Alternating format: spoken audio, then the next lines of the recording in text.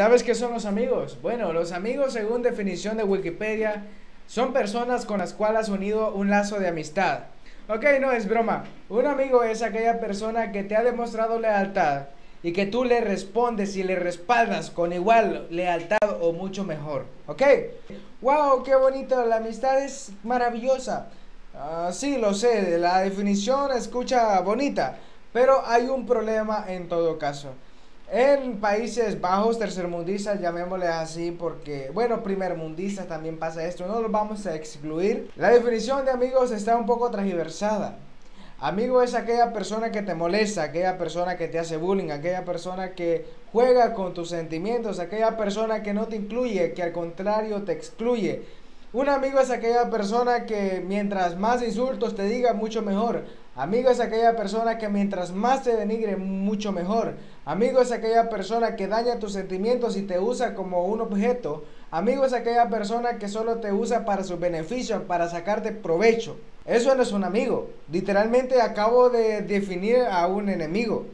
Entonces, en países, así en la mayoría de los países, la definición de amistad es esta, lastimosamente, o sea, no lo decimos, pero sí lo pensamos, o sea, Sí, yo te molesto porque eres mi amigo. Un caso bien claro es el video de Franco Escamilla, un comediante mexicano, el cual cuenta un chiste que es la realidad. Amigo es al que más molestamos, al que más insultamos. Pero dime, ¿en realidad eso está bien? Yo tengo varias amistades dentro de mi grupo social. Y sí, nos bromeamos, hacemos broma, nos divertimos, nos reímos de esta persona. Pero esta persona también se ríe de nosotros. O sea, es un conjunto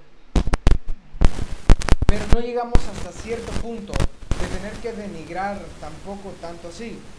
Entonces, sí, comprendo, no deberíamos de hacer eso. Quiere mucho cuidado en realidad cuando hablamos de este tema, ya que una amistad, eh, una amistad sincera, pura, íntegra, es la amistad que se pone primero antes que ti, o sea, que se pone primero. Una amistad, una amistad buena, son los amigos que dan la cara cuando ellos han tenido la culpa y no te están culpando a ti. Encontrar amigos hoy en día es como encontrar una pepita de oro, en realidad es súper difícil. Así que te voy a dar un par de recomendaciones a ti, mi estimada fieras del emprendedurismo, mi estimado amigo, mi estimado compañero, el cual es aléjate de las personas que te causan daño. Sí, normalmente cuando tenemos personas que nos causan daños no nos alejamos porque no tenemos amigos lastimosamente. Amigos, nos quedamos ahí atrapados en el pensar, y si no consigo más amigos, y si me quedo solo, solo, solín, solito. Bueno, ese es un total error. Hay un dicho bastante conocido en países como El Salvador que es mejor solo que mal acompañado. Yo secundo ese dicho porque en realidad es así. Dime, si tienes una amistad mala, lo único que va a generar es daño a tu interior. Depende de tus amistades, así va a ser tu comportamiento además.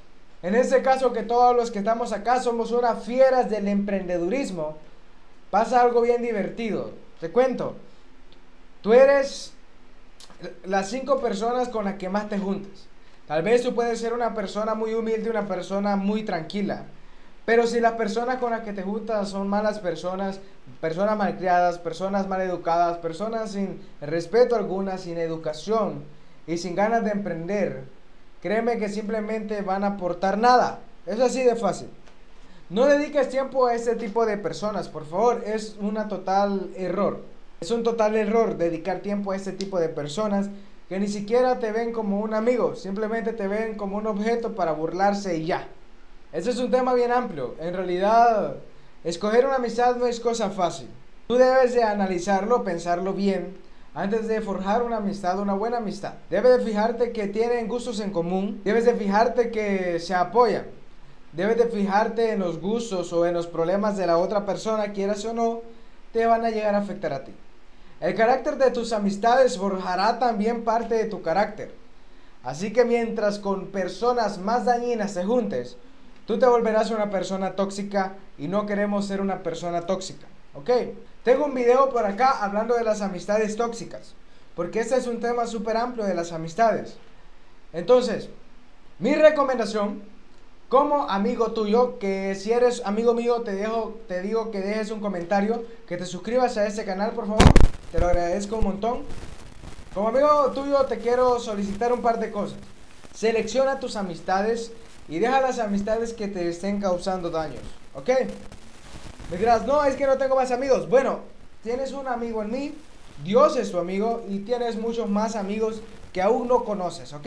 Entonces no tengas miedo, por favor, a aventurarte, te diría, para conocer nuevos amigos.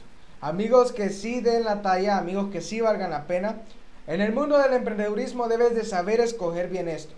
Porque tus amigos también van a definir el punto de éxito que tú tengas. Si tienes amigos que simplemente no te aportan nada, te van a quitar de lo que tú eres. Así de sencillo es, mis estimados. Mira, te quiero pedir que me ayudes a suscribiéndote con ese canal. Eres mi amigo, te suplico que vayas a esta lista de emprendedurismo y desarrollo personal. También que te puedes suscribir por acá y ir a mi otro video. Gracias mis hermanos por ver este contenido. Agradezco mucho el apoyo de ustedes que me están dando últimamente.